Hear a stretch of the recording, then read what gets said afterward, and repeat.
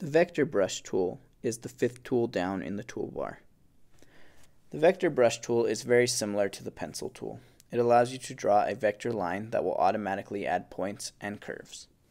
The difference is the brush tool will use whatever brush you have selected in the Brushes Studio on the right hand side. There are a bunch of these and we'll go over them more in the next course on studios.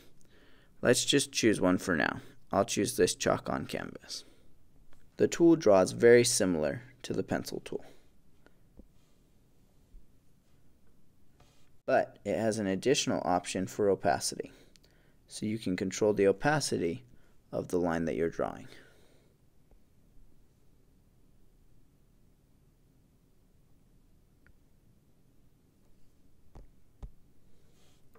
If you tap the More option, it will take you to a modal window where you can control more of the options in the brush editor. As with the pencil tool, a lot of these are more helpful with the Apple Pencil as you can better control the way that your brush is working. You can also control the stroke color just as you can with the pencil tool. And you can select other controllers like pressure and velocity as well. Similar to the pencil tool, it also has some stabilizer options. That's all for the brush tool for now. In the next video, we'll talk about the pen tool.